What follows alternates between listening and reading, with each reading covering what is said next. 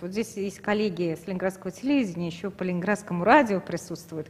Вот эти были те средства массовой информации, да, они были большие, неповоротливые, э, но они соответствовали своему времени, но они всегда аудиторию подтягивали. А сейчас очень много СМИ, которые бегут за свою аудиторию. Все мы бежим, все. Да, но главное не упасть при этом сумасшедшем беге. А как можно подтягивать свою аудиторию?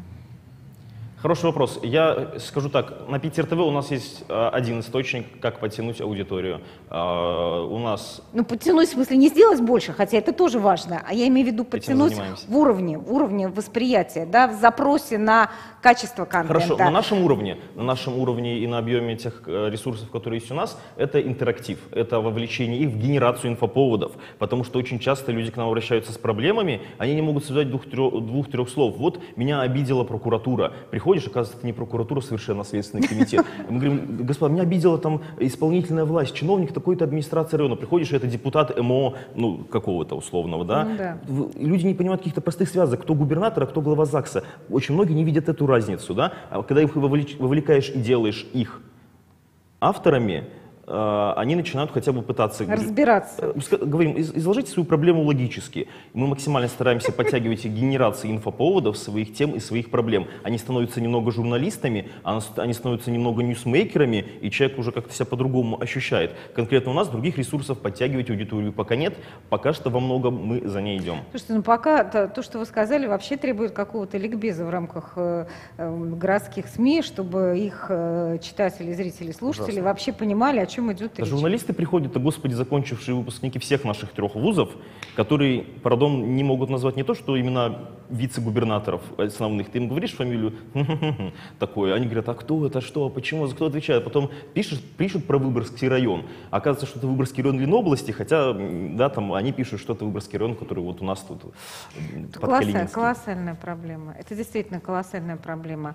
А означает ли это, что нужно образовывать ну, вот, журналистов в процессе, в момент работы? Или Ну, все-таки есть вариант найти грамотного специалиста? на Грамотные рынке? специалисты на рынке есть. С- Забавную специфику сейчас заметил, очень веселую. Э, Вешаем вакансии, раскрываем, и вот присылают резюме, да, от- отклики на вакансии. Ты смотришь, студент, который доучивается пятый, там, последний курс.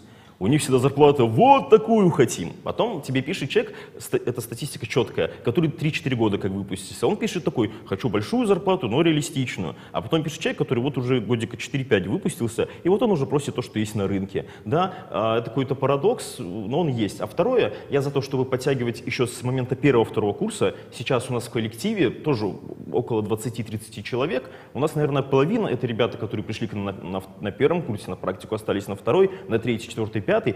К четвертому, пятому они знают и наш формат, и стандарты журналистики основные. А мы тем самым а, тоже подращиваем себе в коллектив людей, которые, как выпускники, будут просить уже не самые большие зарплаты. Они у нас поработали 4 года, они понимают, что к чему.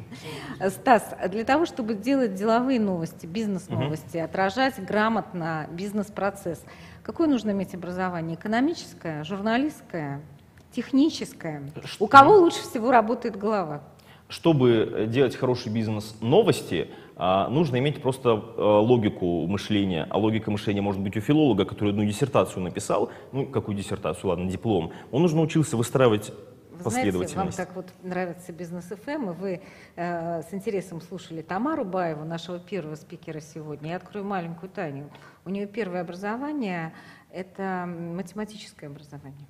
Шикарно. Видно, очень, очень умная и прекрасная Да. женщина. Я То есть все-таки те науки, которые голову в порядок приводят. Нет, нет, просто можно даже не иметь законченного высшего образования, если ты знаешь 3-4 простых правила, как в журналистике делается, как не делается, два источника, проверить информацию, а не говорить о факте, если он не подтвержденный, а как, что зачем следует, что подлежащее сказуемо, они в такой последовательности. Новости ты уже сможешь писать, а вот аналитику деловую, а вот уже какие-то более публицистические форматы, конечно, здесь уже специалист. Э, Мне нравится формат, когда ты берешь выпускника финансового чего-то, бизнесового такого, да, там нас был опыт неплохой, Э, либо когда у человека есть узкая специализация. Вот он нефтяник, он будет, конечно, шикарно писать про э, энергетический рынок. Человек поработал хотя бы в пресс-службе ЖКХ комитета, он будет экспертом блестящим в сфере вопросов тарифов, То есть равно нужна специализация. У новостника нет, у автора настоящего узкого, конечно, да.